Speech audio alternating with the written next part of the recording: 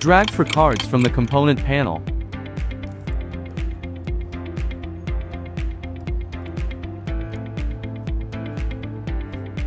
Click on the Create New Adaptive View Set button on the Style panel. Select Desktop Large in the preset. Add a new view and select Desktop Medium. Add a new view and select Desktop Small.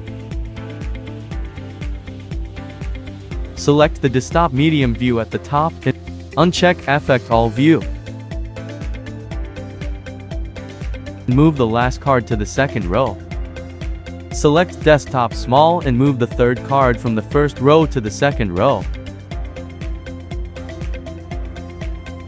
Preview the prototype. By changing the width of the page, we can see that as the width of the page changes, the position of the card also changes.